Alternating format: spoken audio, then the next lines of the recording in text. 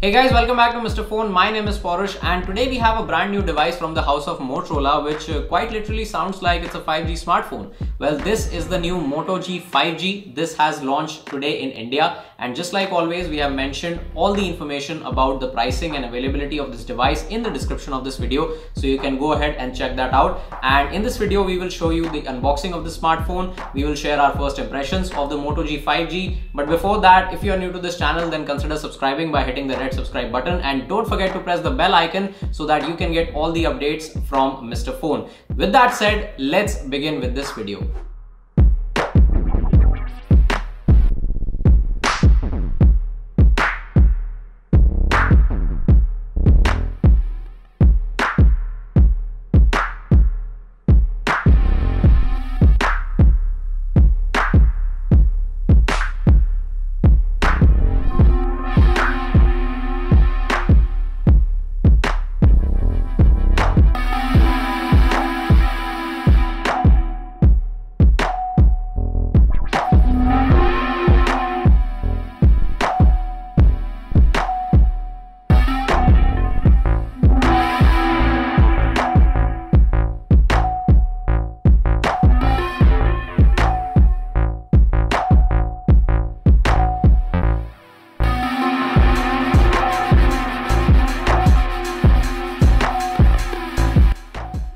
Now this phone is out of the box and let's first talk about the design. The Moto G 5G comes with a glossy polycarbonate finish which actually looks really nice. You get these shiny VibGyor patterns due to the reflection of sunlight. The device weighs 212 grams and is 9.9 millimeters thick, so it might feel a little hefty for some users.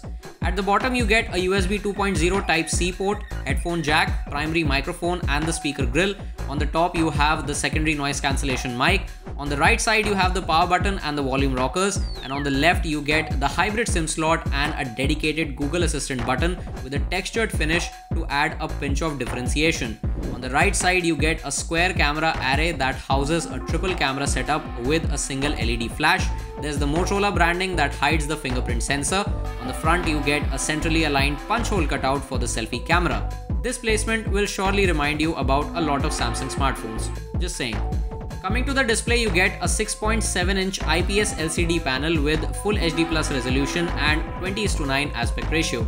You also get support for HDR10, but it is limited to just YouTube. You cannot watch HDR content on OTT platforms like Netflix and Amazon Prime Video.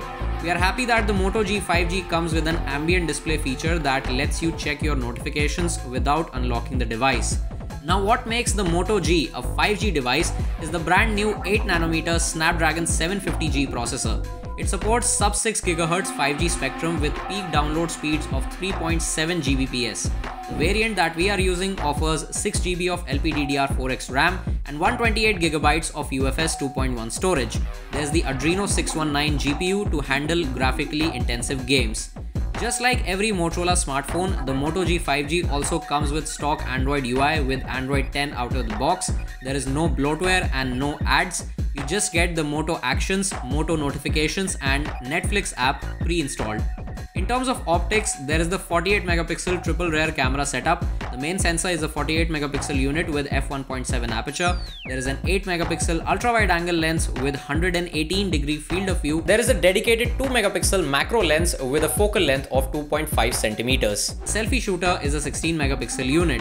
You can shoot 4K videos from the rear camera and you can also shoot 240 fps slow-mo in 720p. The ultra wide angle lens shoots 1080p videos and the macro lens can shoot 720p videos. Powering this entire setup is a 5000 mAh battery and you get a 20 watt turbo power charger in the box.